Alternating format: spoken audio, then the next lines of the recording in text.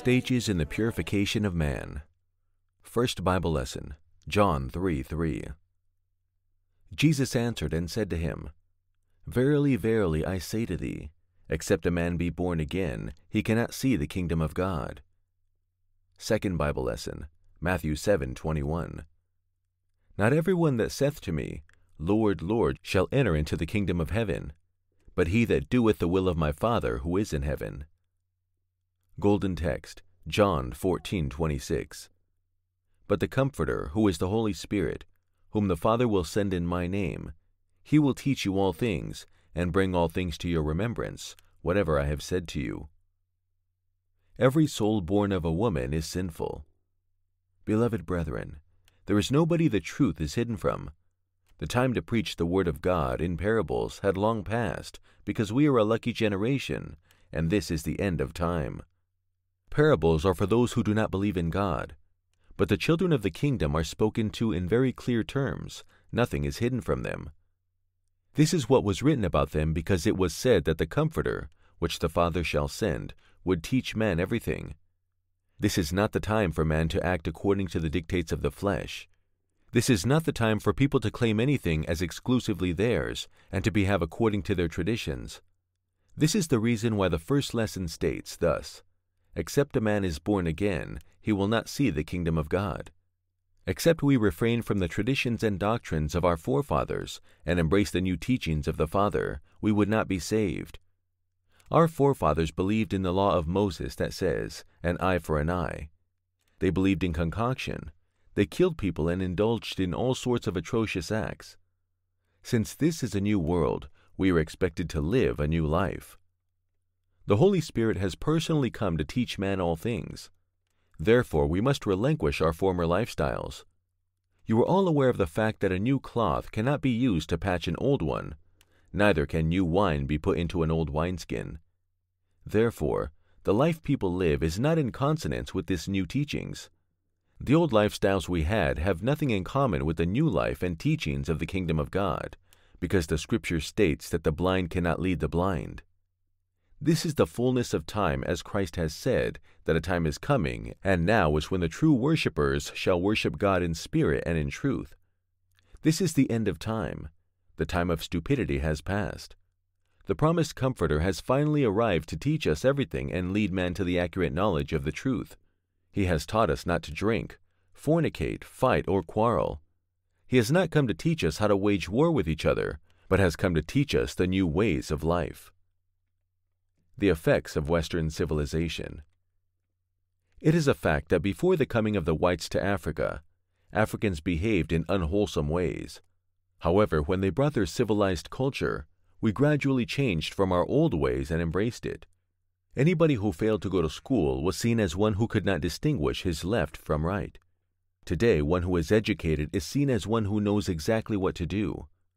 When you go to school, you are regarded as a civilized person but the people see one who has not gone to school at all as primitive in all aspects of life, because his perception of life would be negative and primitive.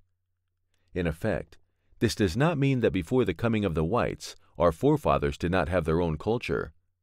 Actually, they had, but it did not give glory to God. Such practice as the killing of twins and their mothers and all sorts of rituals took place in this part of the world before the coming of the whites. Giving birth to twins was regarded as an abomination, and for that reason, mothers of twins and their babies were killed, and in some communities they were regarded as outcast. The natives saw this obnoxious culture, killing of twins, as normal and not evil. The slave trade was another practice that was seen as normal before the advent of the whites. The cutting of human heads was never regarded as anything evil. Rather, it was regarded as an act of bravery and glory. Anybody who was found with a human head was always held in high esteem. Another practice which was quite common was idol worship. People had their various gods and shrines, and this practice was regarded as a priority. Polygamy was another practice upheld by the people as a mark of dignity. The society saw men who had many wives as being great and held them in high esteem. The people did not toy with necromancers and regarded them as gods. They would often comply immediately whenever a necromancer, a native doctor, ordered that something should be done. I am using earthly situations to illustrate heavenly things. The people then did not see anything evil in all the ancient practices mentioned here. Such practice were regarded as the right culture done and observed. However, when the whites came, they stopped the killing of twins and their mothers and put an end to the slave trade. They also helped to deliver the people from idol worship. So many other evil practices were either stopped completely or greatly reduced. In the same vein, the coming of our Lord Jesus Christ was to bring to an end the culture that existed in the days of Moses. During the era of Moses, his teachings were based on the law of tit for tat, that is, an eye for an eye.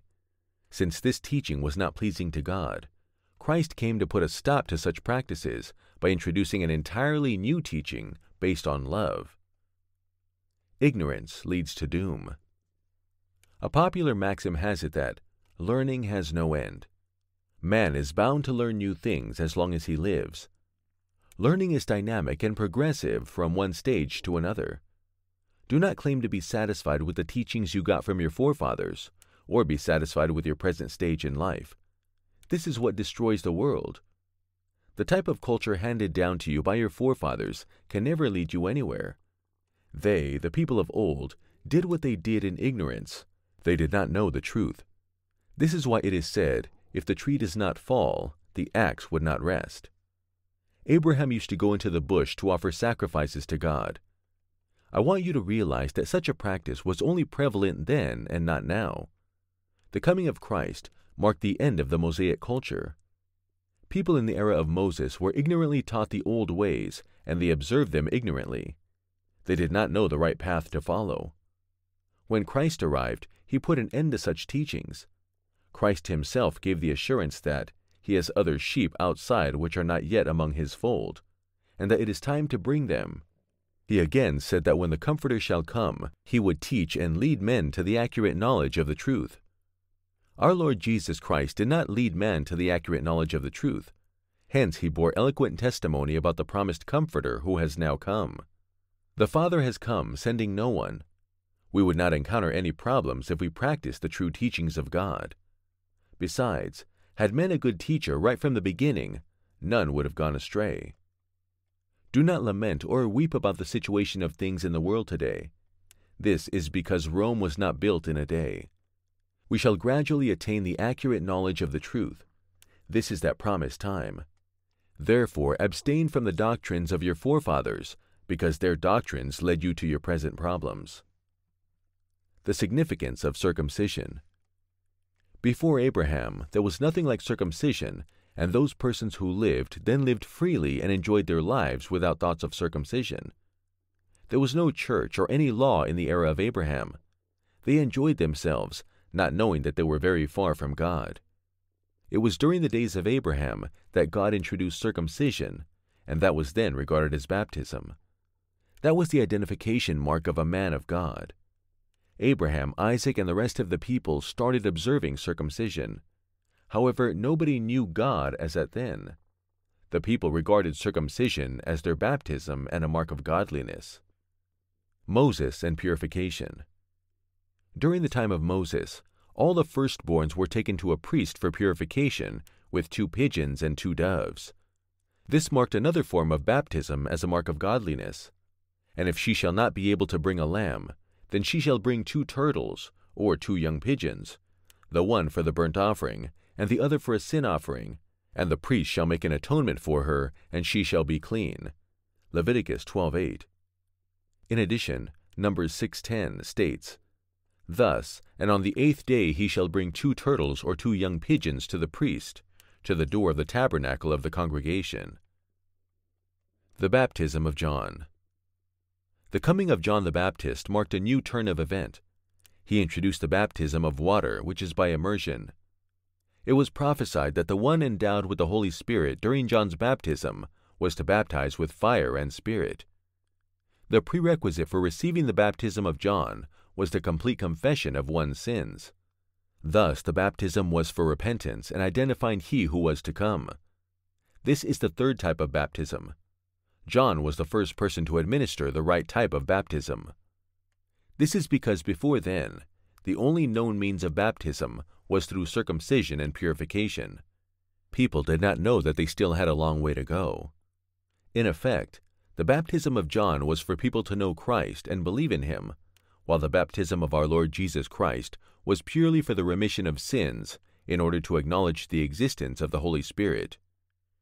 Our Lord Jesus Christ is the last witness of the Holy Spirit. If you repent of your sins and you are devoid of the Holy Spirit, you will not know the truth. Therefore, after the baptism of Christ, you would know the promised Holy Spirit, the Comforter, and the only teacher to the world. You can do nothing without the Holy Spirit. The Holy Spirit is the only one that enables people to do the right thing, but without the Holy Spirit you are deaf and dumb. This is why you are told that, except a man is born again, he cannot inherit the kingdom of heaven. The embodiment of Christ. Christ is made of water, blood, and spirit. This is the last mission of the Holy Spirit. He has come to rule the world forever.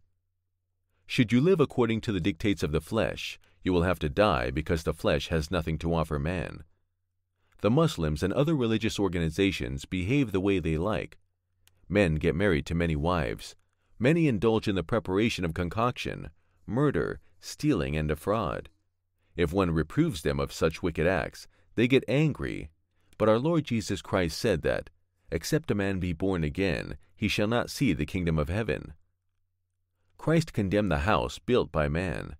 This is why he made the statement that God does not dwell in a house built by man. This is because God is a spirit. He has come sending no one in this last era to teach and lead man to the accurate knowledge of the truth. This is the reason why I continue to say that this generation is the luckiest of all generations.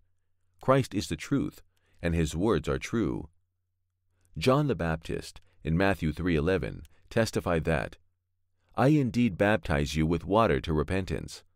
But he that cometh after me is mightier than I, whose shoes I am not worthy to bear. He shall baptize you with the Holy Spirit and with fire. Now, if baptism were not important, how would this same Jesus go to John the Baptist for baptism? Had he not received baptism, how would he have received the Holy Spirit? he would not have been able to achieve anything without the Holy Spirit. Man is sinful. Everyone born of a woman is sinful, and the only thing that can purify man is baptism. Sanctification comes to you after receiving baptism, and God will then dwell in you. No human being could have had any physical contact with the Holy Spirit had he descended from the blues. It is for the sake of establishing contact with man, in order to use man to accomplish his divine works on earth, that he indwells man after baptism and takes possession of his body. Re examine the first lesson. First Bible lesson, John 3 3. Jesus answered and said to him, Verily, verily, I say to thee, except a man be born again, he cannot see the kingdom of God. Baptism for sanctification. Beloved, you are now aware of the truth that you cannot be sanctified without baptism. Flesh and blood cannot see God, no matter how long you fast and pray. If you are in the flesh, you are wasting your time and energy. Even if you embark on astral projection, God cannot be close to you because he knows that you are not clean. On the other hand, you cannot be allowed to get close to him. Under such a situation, you cannot distinguish between good and evil. Thus you are lifeless. No evil person can see him. Anybody who is evil is blind despite the fact that his eyes are wide open. Although God is here in our midst, such a person cannot see him because he is spiritually blind. The Father, Son, and the Holy Spirit are here on earth, and the very moment you accept baptism, you will be able to see the Father. You will know what is good and evil. You will enter into his kingdom, and he will teach you all things. Most people like John the Baptist would not have known Christ but for baptism. John confirmed that he did not know Christ, but that he who sent him and instructed John to baptize with water revealed the Christ.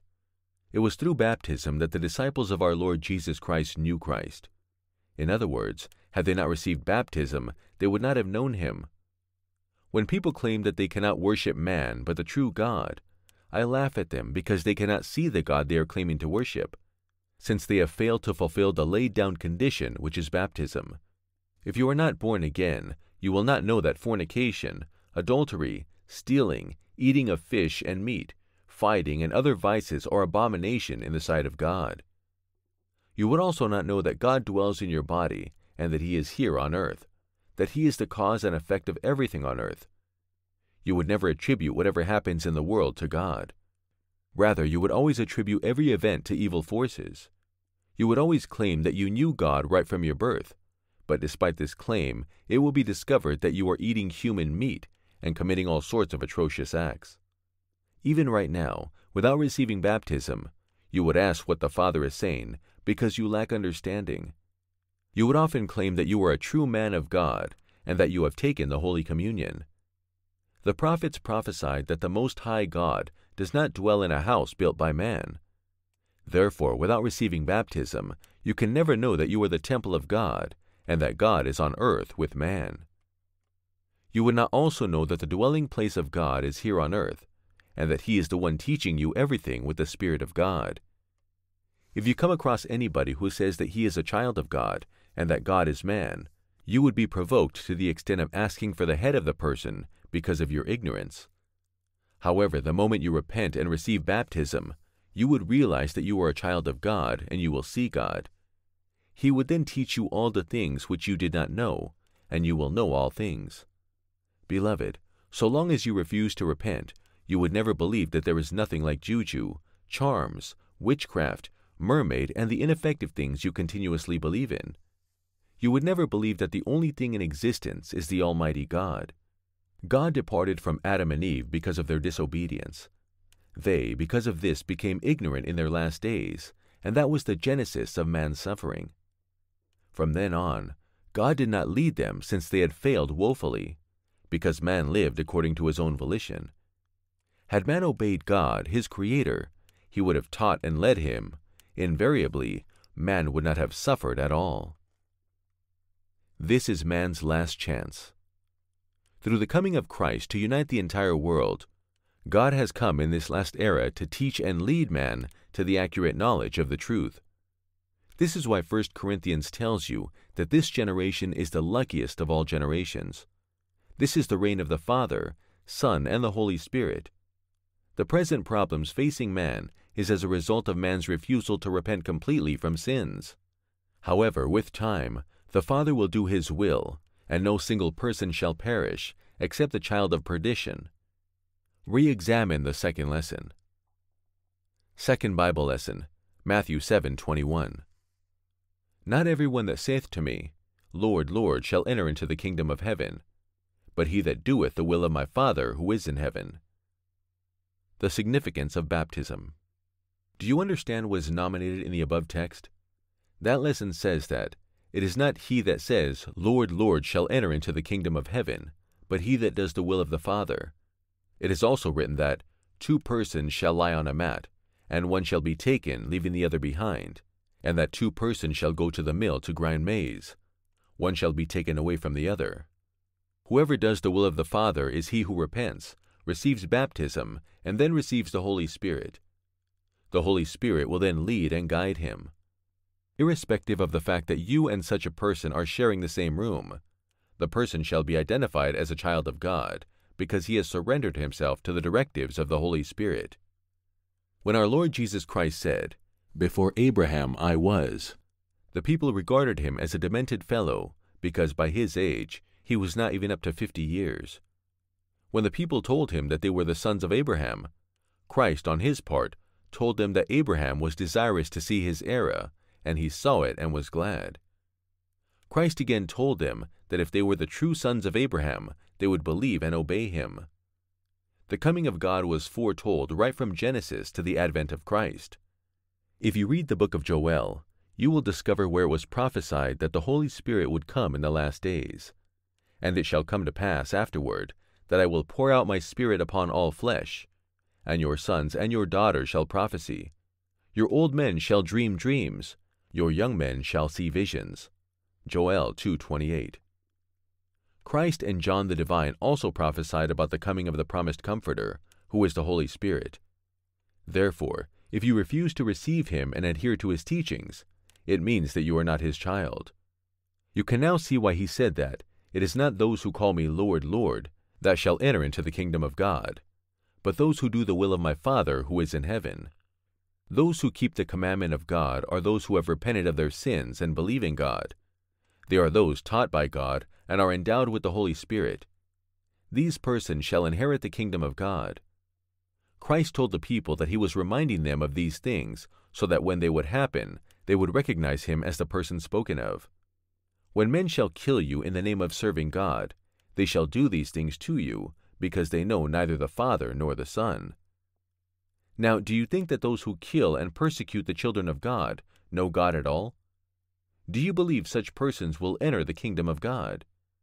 Do you think that those who build their houses with gold, those who smoke and drink alcohol, the fornicators, and persecutors of the children of God know God? Do you think that the polygamists, juju worshippers, and those who keep shouting the name of Jesus and Jehovah are children of God? Such are the people who call him Lord, Lord, without doing the will of God, and they will not enter into the kingdom of God. Those who are to inherit the kingdom of God are those who have repented of their evil deeds and keep the injunctions of God. You who claim to believe in our Lord Jesus Christ, why have you refused to practice his injunctions?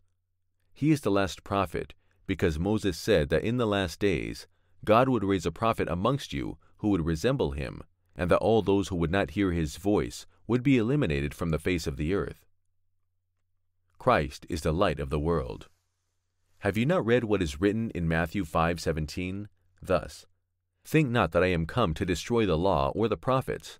I am not come to destroy, but to fulfill. That was the last duty Christ achieved to pave way for God to finally come and reign eternally. Moses did not attain perfection. That was why he said that God will raise another prophet, who the people should obey, and all those who refuse to obey him will be destroyed. John in Matthew 3:11 said, I indeed baptize you with water unto repentance, but he that cometh after me is mightier than I, whose shoes I am not worthy to bear. He shall baptize you with the Holy Ghost and with fire. He never claimed perfection, Christ also said in John 16, 12-13 thus, I have yet many things to say to you, but ye cannot bear them now. But when he, the Spirit of truth, is come, he will guide you into all the truth. For he will not speak from himself, but whatever he shall hear, that will he speak, and he will show you things to come. You can now see why Christ said that he is the way, the truth, and the light. It is a fact, because without him none would come to the Father, no man would see God or know his ways. Hitherto, when one claimed that he had seen God, he would be stoned to death. However, in recent times, those who believe and repent of their sins are endowed with the spirit of the Comforter to teach and lead them to the accurate knowledge of the truth. The old teachings which man received were of no benefit to him, but since the Comforter has come, the truth has been revealed to man. Consequently, those who cannot appreciate this truth are still doing what is not pleasing in the sight of God. The works of the flesh ended in the era Christ. He is the last sacrificial lamb. Therefore, none is expected to perform any ritual of any sort again. When he said, It is finished, all the works of the flesh and darkness ended. After then came the Comforter, and all those who receive his teachings are saved. But all those who refuse his teachings have perished, just like those of old. Christ told the Samaritan woman that a time is coming when man shall neither worship God on the mountain nor in Jerusalem, and that the true worshippers of God would worship him in spirit and in truth, for the Father seeks for such to worship him. Our fathers worshipped in this mountain, and ye say that in Jerusalem is the place where men ought to worship. Jesus saith to her, Woman, believe me, the hour cometh, when ye shall neither in this mountain, nor yet at Jerusalem, worship the Father. Ye worship ye know not what, we know what we worship, for salvation is from the Jews. But the hour cometh, and now is, when the true worshipper shall worship the Father in spirit and in truth, for the Father seeketh such to worship him. God is a spirit, and they that worship him must worship him in spirit and in truth. John 4, 20-24 Unfortunately, people are still going to Jerusalem, Rome, Mecca, and other places to worship God. Those who do that are the children of perdition. Realize that this is the time for man to worship God in truth by surrendering his body to him. Man is the temple of God, but if you inform people about this, some would stone you to death or resort to calling you different names. Re-examine the Golden Text. Golden Text, John 14:26.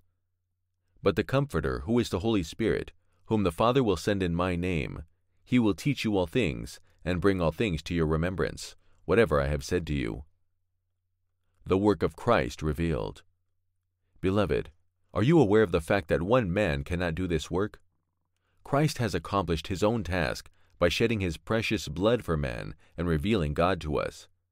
After that he departed and declared openly to the people that whoever blasphemes against the Son of Man shall be forgiven, but whoever blasphemes against the Holy Spirit shall not be forgiven in this generation and in the generation to come.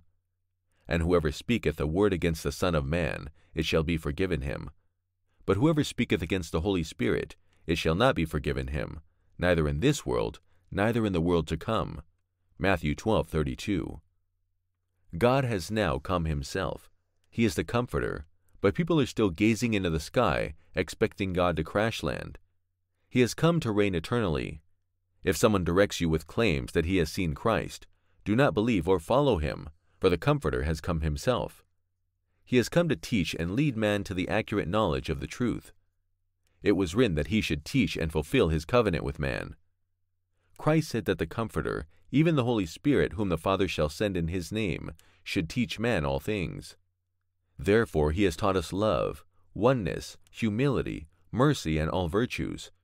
He makes us know that there is nothing like juju, mermaid, and witchcraft, but warns us against committing any sinful act. He also advises us not to marry more than one wife. Furthermore, he has assured us that soon people will come to the realization that those who are counted worthy to inherit the kingdom of God neither marry nor are they given in marriage. He has not come to teach us anything concerning Nigeria alone, but the whole world. He has not come to teach us to continue living according to the dictates of the flesh, to kill, steal, or search for protective charms, but to live a righteous life devoid of sinful acts. He has come to teach us the truth. He has united the whole world. Our Lord Jesus Christ, in Matthew 5 8 says, Blessed are the pure in heart, for they shall see God. Purify yourself, that you may see God. Whenever your heart is pure, you will see God. God said, Let us make man in our own image. Yet people still believe that there is no God, and that God has no children. But they do not realize that he is here on earth with man. He is the Father, and we are his children. All the things that Christ taught are now brought to our remembrance. He warned that we should not drink, fornicate, hate, or cause division. He also enjoined us to go from house to house and preach the word of God, for we are all the children of God, and he is our Father. In times past, idolatry, deceit, murder, and other sinful acts were not considered evil, but our eyes are now open. We have realized that all those were demonic acts. Heaven, earth, and the fullness therein belong to God. Know that his entire creation is one. We are all one. We should therefore live according to God's injunctions. God is now on earth teaching man himself. Whoever listens and practices his injunctions would not have problems. He guides and directs you at all times. We are free. The whole world looks at us with surprise. People wonder as to the source of the power in Brotherhood of the Cross and Star. It baffles them to see people staying for years without any medical treatment, yet not having problems of any kind. In the Western world and other parts of the world, people go into researching into Brotherhood of the Cross and Star, yet I cannot say exactly what is the result of their research. The Scripture states that, They which shall be counted worthy to obtain that world and the resurrection from the dead neither marry nor are given in marriage, neither can they die any more, for they are equal unto angels, and are the children of God, being the children of the resurrection. Luke 20, 35-36.